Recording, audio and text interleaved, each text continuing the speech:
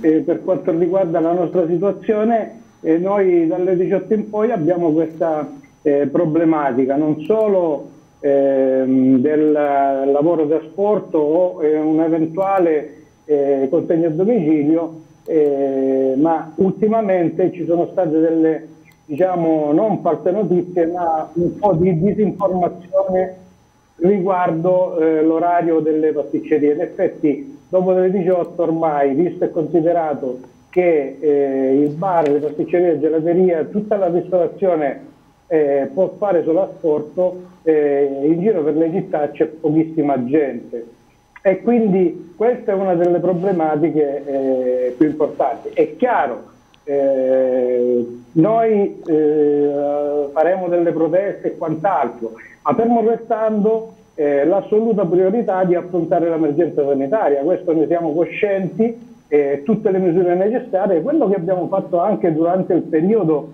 eh, della chiusura del lockdown, quindi a oggi eh, noi non ci riteniamo eh, sicuramente untori di questa pandemia perché eh, visto e considerato che i primi di tutti a chiudere sono i bar e tutta la ristorazione, noi non ci riteniamo eh, tali in, in questo caso. I nostri luoghi sono tutti dei luoghi sicuri, eh, mentre al contrario direi i luoghi che dovrebbe eh, tenere sotto controllo lo Stato, che sarebbero il trasporto, eh, vedi treni, aerei, eh, diciamo pullman per i ragazzi, le scuole e quant'altro, lì eh, il problema continua ad esistere naturalmente. Quindi noi ci ritroviamo chiusi eh, con tutte le accortezze che prendiamo e che abbiamo per l'emergenza e per tutelare sia i nostri clienti sia eh, i nostri collaboratori, ci ritroviamo chiusi e dobbiamo aspettare che cosa? Qualcosa che non sappiamo se arriverà quanto prima, quello che sono eh, diciamo, gli aiuti eh, e quindi non, non accettiamo determinate cose. Allora dico questo, se eh, vogliono chiuderci, allora prima ci dite guarda sul conto hai ta, eh, ta, um, un, una, come dire, eh, un contributo, dopodiché ti chiudiamo eh, perché abbiamo bisogno di tutelare tutta eh, diciamo, la popolazione e quindi possiamo chiudere. Allora sì, in quel caso sì, ma eh, stare lì ad aspettare tra qualche giorno la chiusura totale perché il rischio che noi pensiamo ci sia è quella della chiusura totale.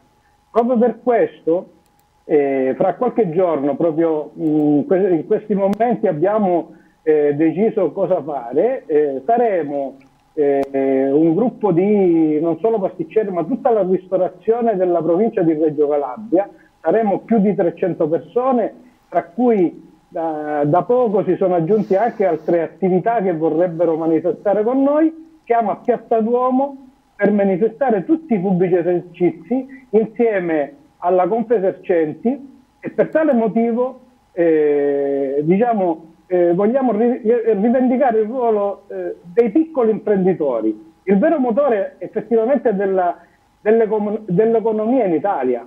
Quindi abbiamo bisogno delle misure immediate e efficaci che siano importanti per poter evitare il collasso della nostra ristorazione. Come vi porrete di fronte a questa iniziativa del governo? Mi pare che le misure per voi non sono assolutamente sufficienti o sbaglio? Eh, no, noi abbiamo chiesto che comunque ci siano degli interventi concreti, eh, chiediamo soltanto che sia data la possibilità a queste categorie di sopravvivere, eh, perché un altro lockdown porterà soltanto ad avere, mie, come, come dire, a, mietare molte più vittime di quanto potrebbe fare il virus.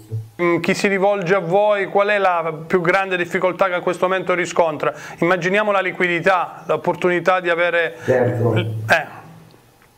Cioè, le, le, liquidità, quella è la prima cosa, è la cosa fondamentale, perché chi si ritrova ad, aver chi, ad chiudere l'attività uh, dopo che comunque ha investito uh, comprando uh, dispositivi di protezione per i lavoratori e per i clienti, si trova comunque ad avere questi sacrifici comunque inutili.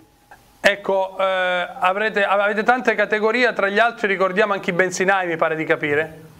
Sì, i benzinai eh, abbiamo costituito qualche mese fa eh, la categoria dei benzinai, eh, il nuovo settore dell'associazione. Eh, vantiamo già un, un, bel po' di associati, soprattutto in Calabria, eh, e insieme a loro stiamo cercando di, di farci sentire anche con le compagnie petrolifere eh, perché si parla comunque di una chiusura di diversi impianti in un tot di, un tot di anni.